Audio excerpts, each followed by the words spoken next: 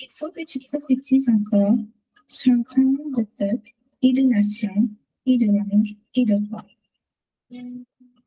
Apocalypse verset 11. ASCH 1889 du 4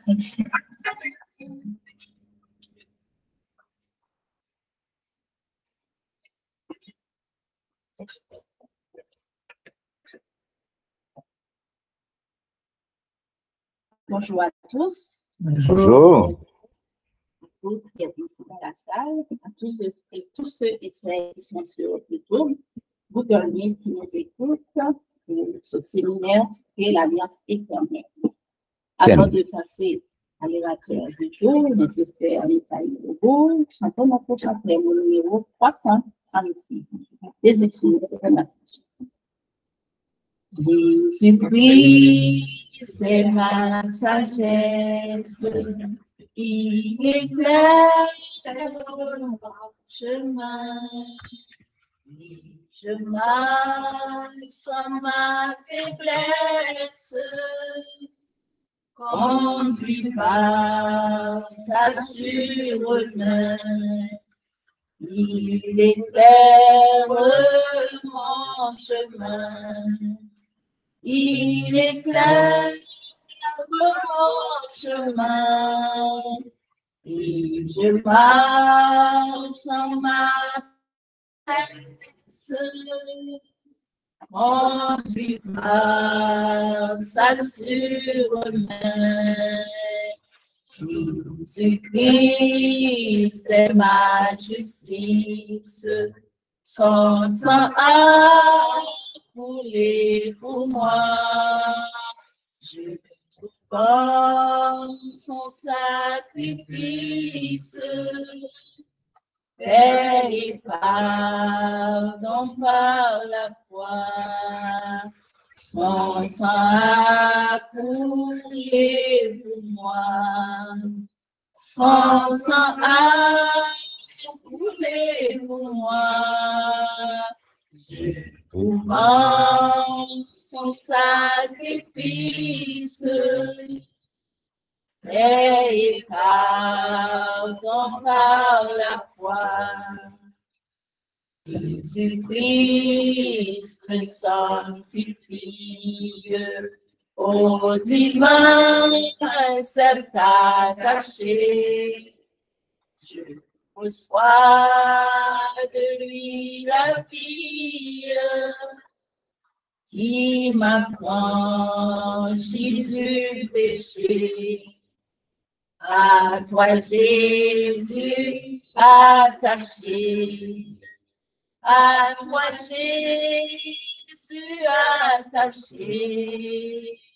Je reçois de toi la vie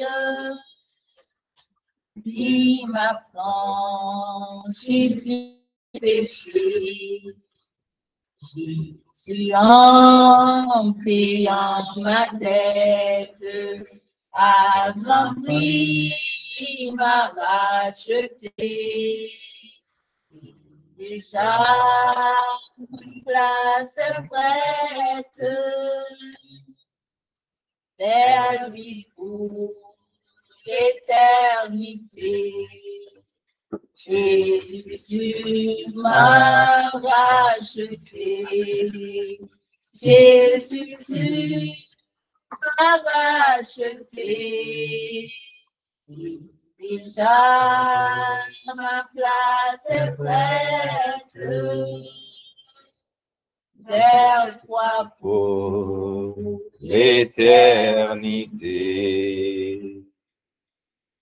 Amen. one, one.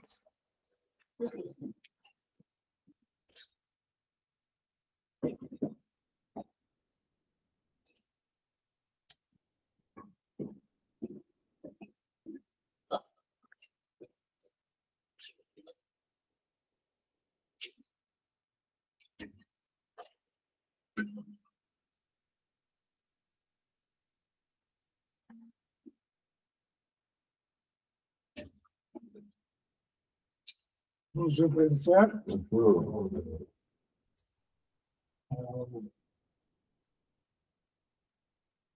C'est même une grande joie que Dieu nous a fait, que Dieu nous a donné de pouvoir terminer cette, euh, ce séminaire avec.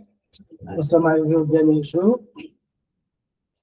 Euh, Dieu nous a gardé en vie, Dieu nous a gardé en santé. Et euh, toute bonne chose faite. C'était la nourriture était très bonne, pas vrai? Amen. La nourriture était très bonne. C'était un terme euh, de la Bible qui était, euh, lorsqu'on l'étudie, on, est rempli de, de reconnaissance envers notre Dieu.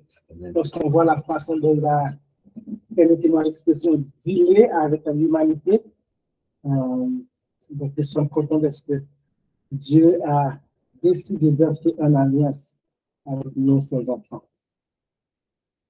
Euh, donc, euh, pour commencer, nous allons prier et nous allons se mettre à genoux et prier pour, prier pour notre Dieu, notre Père, Seigneur, Seigneur, nous te remercions pour ta grâce infinie envers nous.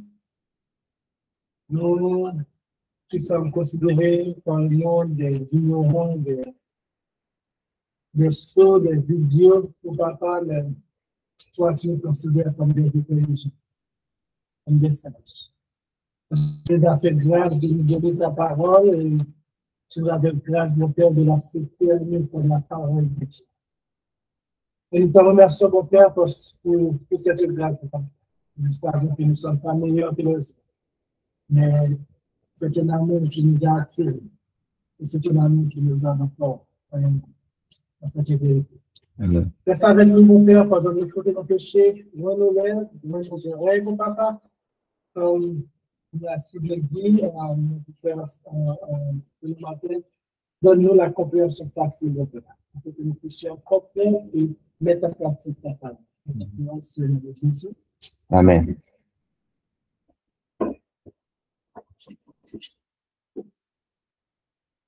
Frères et sœurs, hier, nous avons vu les, les deux alliances, avec moi en tout cas, Oui. les deux alliances, ensuite avec Fleur et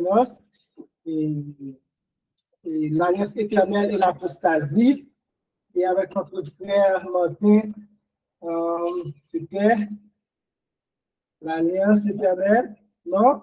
Non, non, non, non, c'était la loi. Et le sabbat, de signe de l'alliance éternelle. Donc, Dieu nous a fait grâce, pas vrai, chers amis? Oui. Dieu nous a fait grâce. C'était du très beau message. Frère et là, c'était euh, euh, euh, assez direct avec nous hier.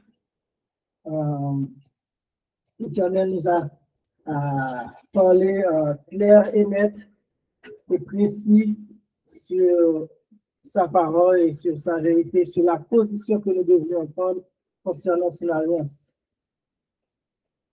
Euh, ce que nous avons vu hier, c'était l'ancienne et la nouvelle alliance. Nous avons vu comment la loi de Dieu est au cœur de ces deux alliances. Pas vrai? Oui. Euh, quel que soit ce que les hommes peuvent dire, que l'ancienne alliance, c'était les dix commandements, les dix commandements sont abolis, etc. Mais hier, hier, nous avons vu avec la Bible en main, avec les versets appropriés, que euh, les dix commandements ne sont pas, euh, ne sont pas l'ancienne alliance, mais au contraire, les commandements sont au cœur des deux alliances. Et toute la différence est faite dans la manière dont nous sommes obéissants avec, euh, à la loi de Dieu. Euh, et aussi, nous avons vu que tout ce que Dieu veut, c'est que nous soyons son peuple à lui et que nous, et que lui soit notre Dieu, notre Dieu à nous. Lorsque nous lisons la parole de Dieu concernant les deux alliances, nous retrouvions une déclaration intéressante de l'apôtre Paul. Euh, en Hébreu 8, verset 7. En effet, si la première alliance avait été sans défaut, il n'aurait pas été question de la remplacer par une seconde. On avait vu les deux alliances, mais on n'avait pas vu pourquoi est-ce que Dieu a remplacé la première alliance par une seconde. C'est ce que nous allons voir aujourd'hui. Et dans le titre de notre euh, euh, euh, et dans le, ti- le titre de notre message, Pourquoi la nouvelle alliance est meilleure que l'ancienne. C'est mon message le plus facile. Le plus facile. Pourquoi? Parce que c'est un fait que la Bible nous dit, et tout ce que j'ai eu à faire, c'est chercher, euh, euh, chercher le fait dans les pages de la Bible et démontrer comment est-ce que la nouvelle alliance est meilleure. Je ne pense pas qu'il y aura une personne qui aura dit non, c'est pas vrai, Michael. L'ancienne alliance est meilleure. Oh, Peut-être, les juifs, même les juifs non, ne, ne, ne, pas cette chance de dire que l'ancienne alliance est meilleure. Donc, euh, c'est mon message le plus facile euh, de ce séminaire. Et ici, nous voyons Paul nous informer que l'ancienne alliance avait un défaut. Alors, voyons qu'est-ce qu'il dit de la seconde alliance pour que nous puissions trouver en quoi consistait le défaut de la première alliance et l'excellence de la nouvelle.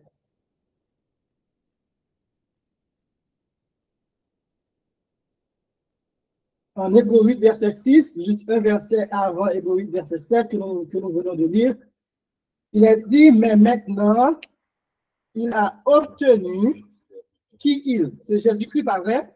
Et maintenant, Christ a obtenu un ministère d'autant supérieur qu'il est le médi- médiateur d'une alliance plus excellente. Et pourquoi cette alliance est plus excellente? Pourquoi Christ est un ministre beaucoup plus supérieur que les autres ministres, euh, ministres d'avant Et là, Paul nous donne la réponse. L'alliance qui est la plus excellente a été établie sur le meilleur promesse. Paul nous dit ici que la nouvelle alliance est meilleure ou plus excellente que la première parce qu'elle a été établie sur de meilleures promesses. Donc, nous arrivons par comprendre que l'ancienne alliance était établie sur des promesses qui étaient défectueuses. Si l'ancienne alliance est établie sur des meilleures promesses, donc l'ancienne alliance est établie sur des promesses pas pires, mais qui étaient défectueuses. Alors, comparons les deux alliances et analysons les promesses de chacune. Mhm. C'est un petit peu petit, mais l'ancienne alliance, nous l'avons trouvé en Exode 19, verset 6 et 8. Verset 2, 2, 6 et 8. Normalement, Exode 19 à Exode 24. Mais la stipulation de, quelles étaient les conditions, les prérequis de l'alliance, on le trouve en Exode 19, verset 2 à 6 et le verset 8. Et la nouvelle alliance, on le trouve en Jérémie 31, verset 31 à 34, aussi en Hébreu 8, que vous pouvez le lire parce que Paul l'avait cité dans son aux Hébreux. Exode 19, verset 2 à 6, verset 8. Étant partis de Rephidim, ils arrivèrent au désert de Sinaï et ils campèrent dans le désert. Israël campa là, vis-à-vis de la montagne. Moïse monta vers Dieu et l'Éternel l'appela du haut de la montagne en disant, tu parleras ainsi à la maison de Jacob et tu diras aux enfants d'Israël, vous avez vu ce que j'ai fait à l'Égypte et comment je vous ai porté sur des ailes d'aigle et amené vers moi. Maintenant, si vous écoutez ma voix et si vous gardez mon alliance, Mhm. vous m'appartiendrez entre tous les peuples, car toute la terre est à moi. Vous serez pour moi un royaume de sacrificateurs et une nation sainte. Voilà les paroles que tu diras aux enfants d'Israël. Et le peuple tout entier répondit, nous ferons tout ce que l'Éternel a dit. Mhm. Moïse rapporta les paroles du peuple à l'Éternel. Donc, dans l'ancienne alliance, nous voyons qu'il y avait une condition de si le peuple obéit à la voix de Dieu. Et le peuple a fait la promesse, nous ferons ce que l'Éternel A dit. alors, allons à la nouvelle alliance et voyons qu'est-ce que euh, il en a dit concernant une promesse. Jérémie 31, verset 31 à 34. Voici les jours viennent, dit l'Éternel, où je ferai avec la maison d'Israël et la maison de Juda une alliance nouvelle. Mhm. Non comme l'alliance que j'ai traitée avec le Père. Mhm. Déjà, comme Paul le dit, il y avait un sujet de blâme, vrai? Le jour où je les ai saisis par la, maison- par la main pour les faire sortir du pays d'Égypte, alliance qu'ils ont violée, quoique je fusse leur maître, dit l'Éternel. Mais voici l'alliance que je fais avec la maison d'Israël. Après ces jours-là, après ces jours-là, et je dis l'Éternel, je mettrai ma loi au-dedans d'eux, je l'écrirai dans leur cœur, et je serai leur Dieu, et ils seront mon peuple. Celui-ci ne saluera plus son prochain, ni celui-là son frère, en disant, connaissez l'Éternel, car tous me connaîtront, depuis le plus petit jusqu'au plus grand, dit l'Éternel. Quand je pardonnerai leur iniquité, et je ne me souviendrai plus de leur péché. Ici, nous voyons que Dieu dit, je mettrai ma loi au-dedans d'eux, je l'écrirai dans leur cœur. Donc, ici, c'est Dieu qui fait la promesse. Que la mettez du commandement, la mettez loi dans le cœur.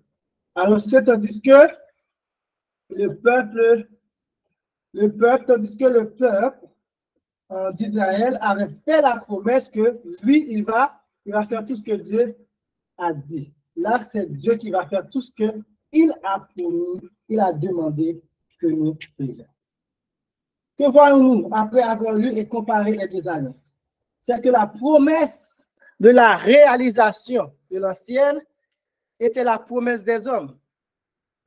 Tandis que la promesse de la réalisation de la seconde alliance est la promesse de Dieu. Entre l'homme et Dieu, qui est meilleur? Dieu et la parole de l'homme, qui est meilleur? La parole de Dieu. Entre les promesses de Dieu alors et les promesses de l'homme, qui sont meilleures? Celles de Dieu. Alors, donc, Paul avait raison de bien dire que la nouvelle alliance a été établie sur de meilleures promesses. Juste le fait que les promesses de Dieu sont meilleures que les promesses de l'homme. Juste le fait que la parole de Dieu est meilleure que la parole de l'homme. Laissez-moi vous rafraîchir la mémoire un peu sur la parole de Dieu. En Nombre 23, verset 19, nous lisons, Dieu n'est point un homme pour mentir, ni fils d'un homme pour se repentir. Ce qu'il a dit, ne le fera-t-il pas? Ce qu'il a déclaré, ne l'exécutera-t-il pas? Donc, Dieu n'est pas un homme. Donc, la parole de Dieu nous, donne déjà la différence entre l'homme et, et Dieu, entre sa parole et la parole de Dieu. Dieu ne peut mentir. Donc, si Dieu fait une promesse, automatiquement, cette promesse est, est meilleure parce que Dieu ne peut mentir. Tandis que si l'homme fait une promesse, l'homme est capable de mentir, donc la promesse de l'homme est défectueuse dans sa nature même. Combien de nous qui avons fait une promesse de mariage? Je ne vais me tromper. Tromper, mariage casé. Chérie, je ne pas dépenser l'argent comme ça encore. L'argent dépensé, même gens. Des promesses d'enfants à parents, de parents à enfants, de frères et sœurs, la famille, de membres d'église à d'autres membres d'église. Mais nos promesses ne sont que, que du vent. Nos paroles ne sont pas, ne sont pas les paroles de Dieu.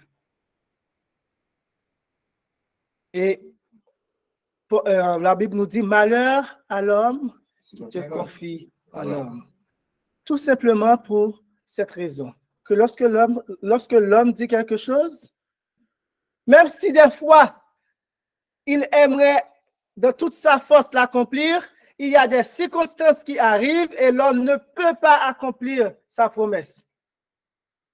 Et sa parole devient, devient mensonge. Mais Dieu dit que sa parole ne sort pas de sa bouche et ne retourne pas à lui sans qu'il ait accompli la chose dont sa parole avait dit qu'elle doit exécuter. Il y a toute une différence, frères et sœurs.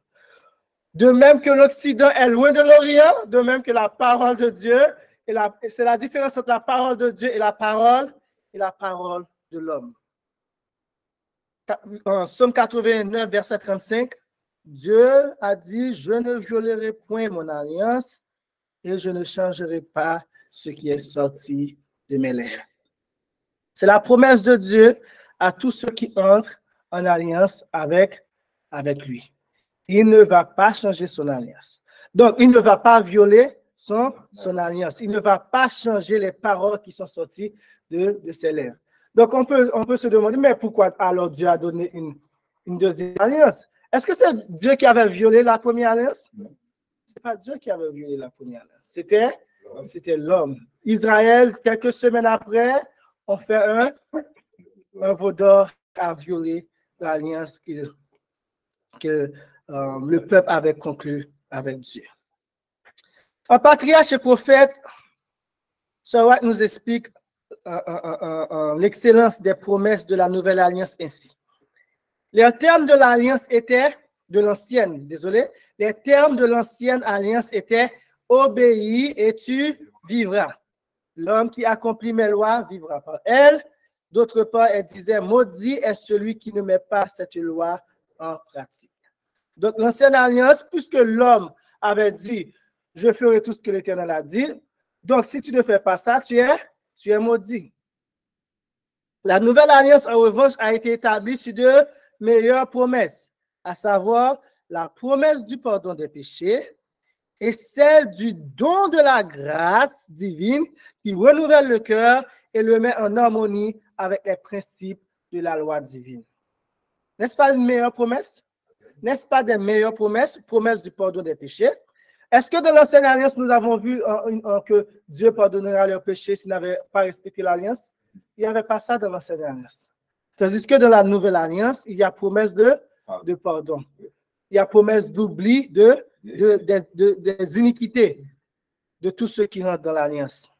C'est vrai que des fois, on peut rentrer dans l'alliance, on peut prendre le, le souper du Seigneur qui est le symbole de ceci est mon sang qui représente la nouvelle alliance. Des fois, on tombe dans le péché.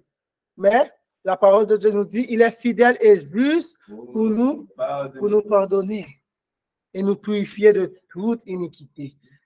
C'est la vertu c'est la meilleure vertu de la nouvelle alliance. Il y a promesse de pardon, même en cas de, même en cas de chute.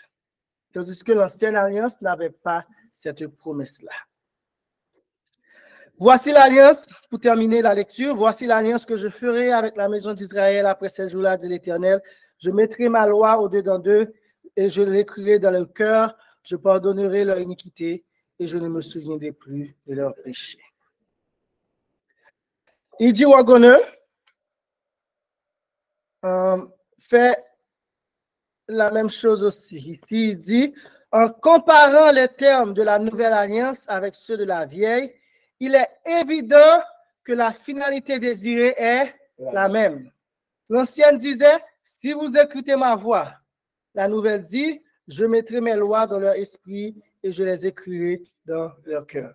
On peut se dire, mais il y a une petite différence si vous écoutez ma voix et je mettrai mes lois dans leur cœur. Mais lorsque la voix de l'Éternel avait parlé, qu'est-ce que le peuple avait entendu? La loi de Dieu. Donc, si vous écoutez ma voix, c'est si vous écoutez mes dix commandements, si vous obéissez à, à, ma loi, à mes lois. Donc, la loi de Dieu était au cœur des, des deux alliances. La nouvelle dit, la seule différence, c'est que c'est Dieu qui assure l'obéissance de, de son peuple. La nouvelle dit, je mettrai mes lois dans leur esprit, je les écrirai dans leur cœur. Les deux se réfèrent à la loi de Dieu. Les deux ont la sainteté et les récompenses comme objectif. Dans l'alliance du Sinaï, il fut dit à Israël, vous serez pour moi un royaume de sacrificateurs et une nation sainte.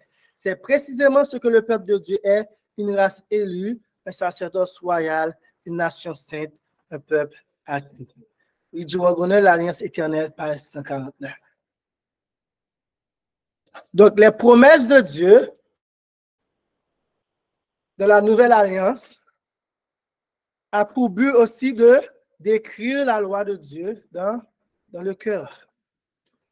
En lisant la parole de Dieu, frères et sœurs, nous sommes dans l'obligation de constater que tout ce qui concerne la nouvelle alliance est meilleur que l'ancienne. Pas seulement les promesses, mais il y a un meilleur sacerdotal, un meilleur sanctuaire, un meilleur sang, etc., etc. Et nous allons voir ces choses ensemble. Euh, ouvrez vos Bibles en Hébreu 7 parce qu'il y avait tellement de versets. Je vous invite tout simplement à ouvrir vos, Bibles en Hébreu 7. Un meilleur sacerdoce. Ceux-là sont devenus sacrificateurs sincèrement, donc les, les, les Lévites sont devenus sacrificateurs sincèrement, mais celui-ci, en parlant de Jésus, est, de, est, devenu, est devenu avec serment. Pour celui qui a dit de lui, le Seigneur a juré et se ne repentira pas, tu es sacrificateur pour l'éternité, pour toujours, selon l'ordre selon de Melchisedec. Hébreu 7, verset 21. Donc, tous, tout, presque tous les versets que je, vais dire ici sont, en Hébreu 7. OK? Donc, ouvrez vos Bibles en Hébreu 7 pour lire avec moi. Donc, et les sacrificateurs, les Lévites étaient sacrificateurs pendant une courte période. Parce que la mort les empêchait d'être permanents. Verset 23 d'Hébreu 7. Il y avait donc un changement et une succession continuelle. Mais Christ, parce qu'il demeure éternellement, possède un sacerdoce qui n'est pas transmissible. Les sacrificateurs terrestres exerçaient le sacerdoce aussi longtemps qu'ils vivaient, mais leur vie était, était courte. Aussi, Christ continua leur sacerdoce tant qu'il vit, mais il demeure était éternellement. Donc, il n'y a pas changement de souverain sacrificateur. Christ demeure sacrificateur pour, pour toujours. Donc, c'est déjà une meilleure. Donc, même, même en question d'amitié, par exemple, si je suis le souverain sacrificateur, il y a une soeur qui, qui vient vers moi. Je connais ses problèmes, etc. Mais si je meurs, un nouveau sacrificateur, un nouveau souverain sacrificateur est nommé. Est-ce qu'il va connaître le problème de la soeur? Non. Mais Christ, lui, il demeure éternellement, donc il connaît tous nos problèmes et, et pour toujours. Donc, il peut les résoudre. On peut aller vers lui sans crainte parce que nous savons qu'il est, est le même hier, aujourd'hui et éternellement. Les sacrificateurs lévites étaient institués d'après la loi d'une ordonnance Chanel, verset 16 d'Hébreu 7. Le sacerdoce était externe, de la chair. Il ne pouvait traiter le péché que dans sa manifestation externe. Par exemple, quand euh, il y avait, il y avait euh, la lèpre, ils, avaient des choses, ils avaient des choses à faire euh, pour que puissent traiter ce qui était, ce qui était lépreux. Ils ne pouvaient pas traiter le péché à l'intérieur, mais seulement le, la manifestation du péché de la chair. Mais Christ est souverain sacrificateur selon la puissance d'une vie impérissable, verset 16 de 7, une vie capable de sauver éternellement. Christ officie selon la loi dans l'esprit. Et la quatrième en, en, en, différence qui rend que le sacerdoce de Christ est meilleur, c'est que les, les Lévites étaient d'hommes pécheurs, ils étaient des pécheurs, comme le démontrait leur mortalité. Au contraire, Christ, en Romains 1er verset 4, fut déclaré fils de Dieu avec puissance, selon l'esprit de sainteté, par sa résurrection d'entre les morts, de telle manière qu'il est saint, innocent, sans tache, séparé des pécheurs et plus élevé que les cieux. Hébreu 7, verset, verset 26. Donc, Christ n'était pas un pécheur, il était meilleur que les un sacrificateur de l'ordre d'Aaron. Donc, il y a un meilleur sanctuaire, un meilleur tabernacle. Le sanctuaire terrestre devait être fait d'après tous les en, Moïse, quand Moïse est monté sur la montagne, d'après exactement d'après le, le modèle qui a été qui lui a été montré. Mais le sacerdoce, euh, euh, le tabernacle de Jésus-Christ, il nous a dit, Hébreu 1er, verset 8 et, et, et 2, le point capital de ce qui vient d'être dit, c'est que nous avons un tel souverain sacrificateur, un tel souverain sacrificateur qui, au, au, chapitre 7, dont nous avons démontré était meilleur que les, que qui s'est assis à la droite du trône de la majesté divine dans les cieux, comme ministre du sanctuaire et du véritable tabernacle, qui a été dressé par le Seigneur et non par un homme. Donc, le sanctuaire a été dressé par le Seigneur lui-même. Et le sanctuaire terrestre a été dressé par des hommes. Ils ont fait tout leur effort pour le rendre comme Dieu leur avait demandé. Mais il y avait toujours l'imperfection humaine. Mais le sanctuaire céleste est parfait parce que Dieu, c'est lui qui l'a dressé. Hébreu 9, verset 11 nous dit ceci concernant le, le, sanctuaire céleste. Mais Christ est venu comme souverain sacrificateur des biens à venir. Il a traversé le tabernacle plus grand et plus parfait, qui n'est pas construit de main d'homme, c'est-à-dire qui n'est pas de cette création. Donc, les ustensiles, les matières, les matériaux de construction qui ont été utilisés pour le sanctuaire céleste ne sont pas de cette création. Ce n'est pas de l'or, ce n'est pas de d'argent, ce n'est pas de bronze, ce n'est pas de bois, etc. Tout ce qui a été utilisé dans le sanctuaire terrestre n'a rien à voir avec le, le sanctuaire, le sanctuaire céleste. Donc déjà, nous voyons un meilleur sacerdoce, un meilleur tabernacle, et ensuite un meilleur sacrifice. Hébreu 9, verset 23 nous dit, il était donc nécessaire puisque les images des choses qui sont dans les cieux devaient être purifiées de cette manière, que les choses célestes elles-mêmes le fils par des sacrifices plus excellents que cela.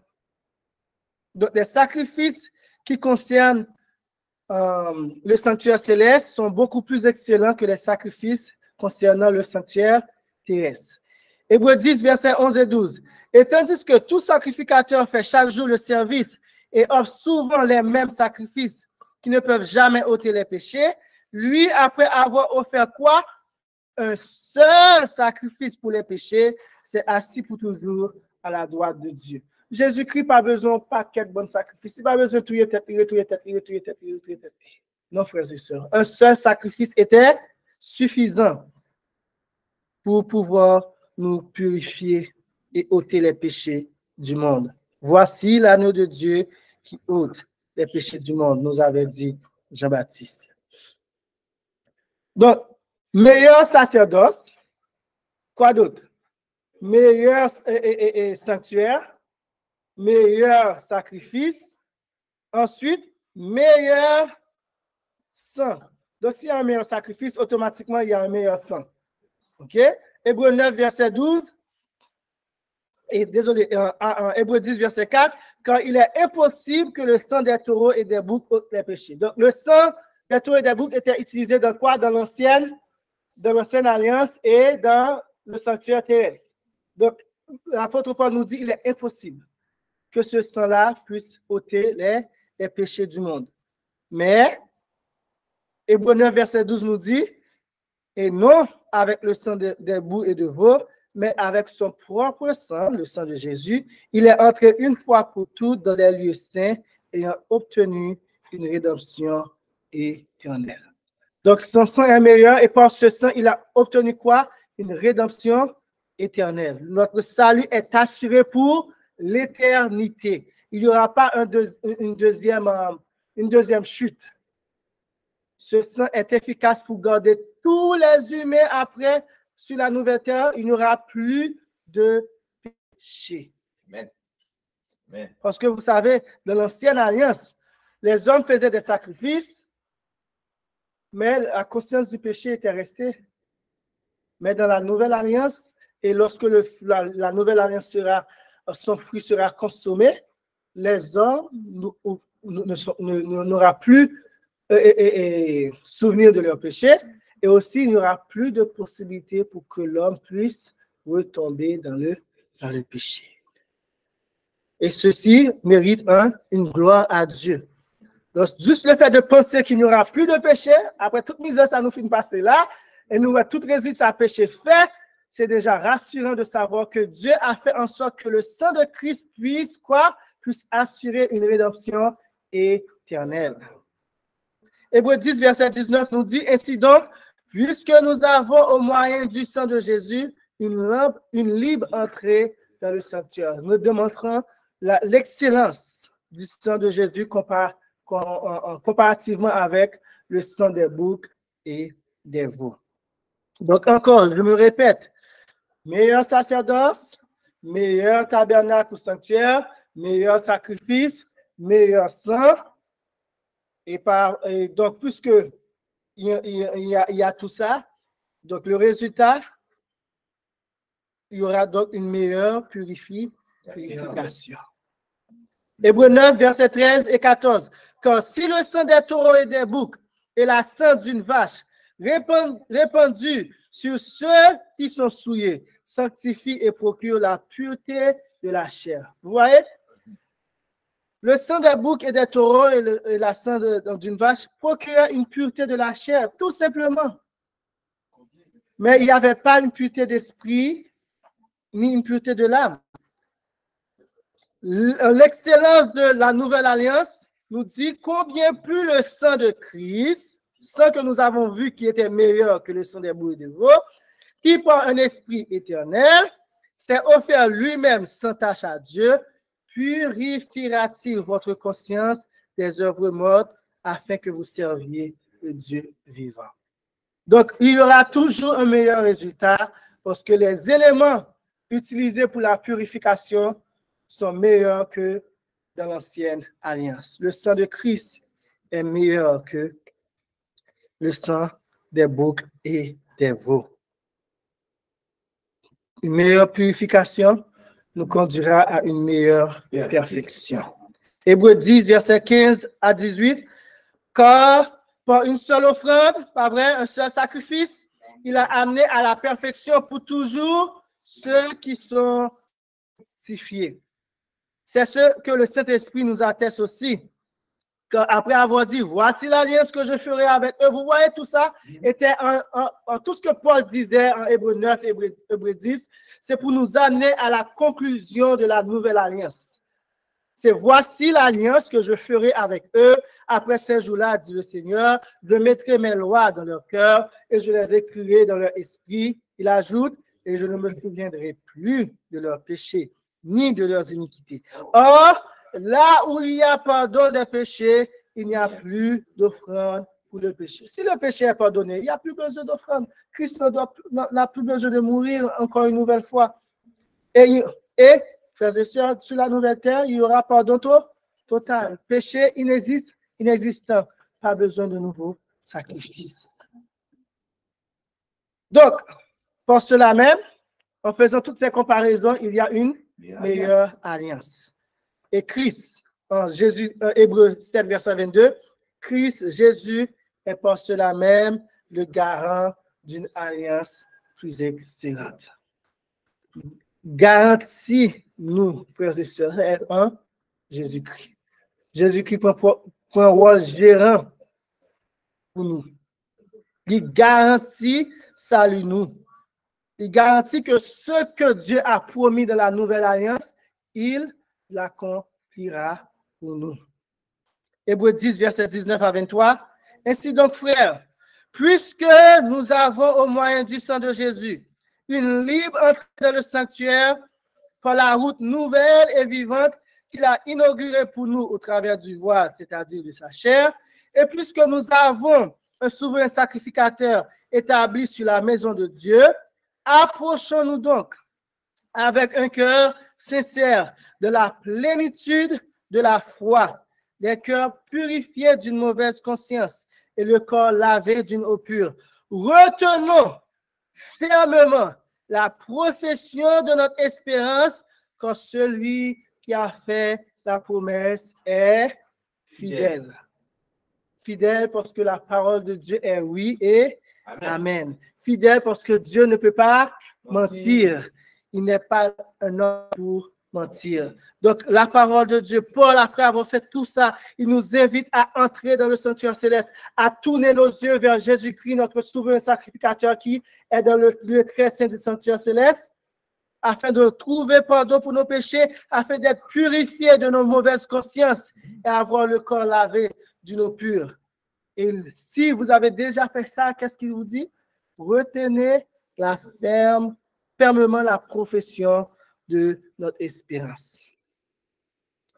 Frères et sœurs, nous avons grandement parlé des promesses de Dieu, l'héritage éternel, la nouvelle Jérusalem. Ces choses sont une réalité. Et Dieu très bientôt nous ferons voir ces choses-là. Donc, pour conclure, frères et sœurs, que le Dieu de paix, Hébreu 13, versets 20 et 21, qui a ramené d'entre les morts le grand pasteur des brebis. Par quoi? Par le sang d'une alliance éternelle. Notre Seigneur Jésus vous rende capable de toute bonne œuvre pour l'accomplissement de sa volonté. Frères et sœurs, Jésus a passé à travers toutes ces souffrances. C'est pour ça, frères et sœurs.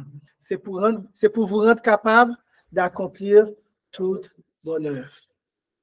Pour l'accomplissement de sa volonté et fasse en vous ce qui lui est agréable par Jésus-Christ, auquel soit la gloire au siècle des siècles. Amen. Amen. Que le Seigneur vous bénisse. Amen. Prions. Notre Dieu, notre Père, merci pour Jésus-Christ. Oui, il est le garant de notre, de notre salut, il est le garant de cette alliance, de cette nouvelle alliance, de cette alliance qui est beaucoup plus excellente parce qu'elle a été établie sur de meilleures promesses. Nous te disons merci, mon papa, est-ce que tu nous appelles à, à rester dans cette alliance et que tu nous donnes par ta grâce ton bon et Saint-Esprit, mon Père, pour que nous puissions, mon papa, accomplir ta sainte et bonne volonté. Agis en nous, accomplis ta promesse en nous, écris ta loi dans nos cœurs. Mon papa, nous savons que tu le feras parce que tu l'as promis. Nous t'en prions ainsi au nom de Jésus-Christ qui vit, qui est au siècle des siècles. Amen.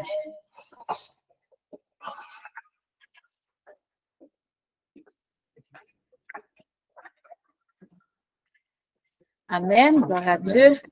Nous disons merci à Dieu pour toutes ces belles paroles, pour la promesse qu'il nous a laissée. Et nous lui demandons de nous rendre capables vraiment de les garder de toute bonne œuvre selon cette promesse qu'il nous a donnée. Chantons notre chanteur au numéro 336.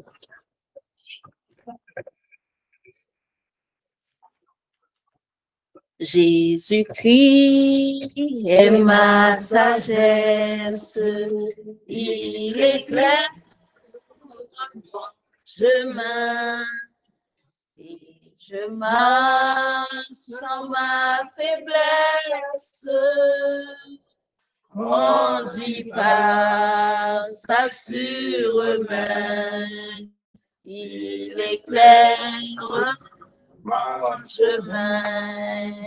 Il éclaire mon chemin je marche sans ma faiblesse, conduit par sa sûre main. Jésus-Christ est ma justice, son sang a coulé pour moi. Je trouve en son sacrifice paix et pardon par la foi. Son sang a coulé pour moi. Son sang a coulé pour moi. Je trouve son sacrifice paix et pardon par la foi. Jésus-Christ me sanctifie au divin concept attaché. Je reçois de lui la vie qui m'a franchi du péché. À toi, Jésus, attaché. À toi, Jésus, attaché. Je reçois de toi la vie qui m'a franchi du péché. Jésus, en payant ma dette, à grand prix m'a racheté. Et déjà, ma place est prête. Lui pour l'éternité. Jésus, tu m'as racheté. Jésus, tu m'as racheté. Et déjà, ma place est prête vers toi pour l'éternité.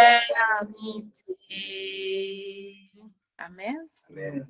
Sur ce, nous vous donnons rendez-vous à 13h pour la suite de ce séminaire l'Alliance éternelle. Que Dieu vous bénisse.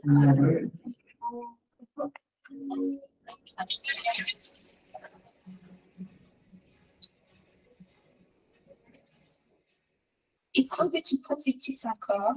Sur nombre de peuples et de nations et de langues et de rois. Merci d'avoir écouté cette présentation. Si vous souhaitez prendre part à la mission que Jésus-Christ a fait à notre Église, contactez-nous via les coordonnées suivantes AICH 1189 caphaïtien à commercialgmail.com. Pour WhatsApp 509 32 32 41 42.